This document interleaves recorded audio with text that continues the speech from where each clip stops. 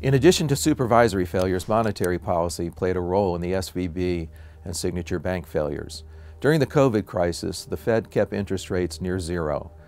At the same time, it bought massive amounts of Treasury securities and mortgage-backed securities, pumping huge amounts of deposits into the banking system.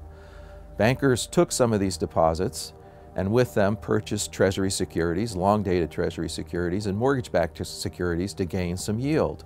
They expected the Fed to keep interest rates low for a long period of time, according to their forward guidance. When the Fed started raising interest rates aggressively in March 2022, banks took losses on these portfolios.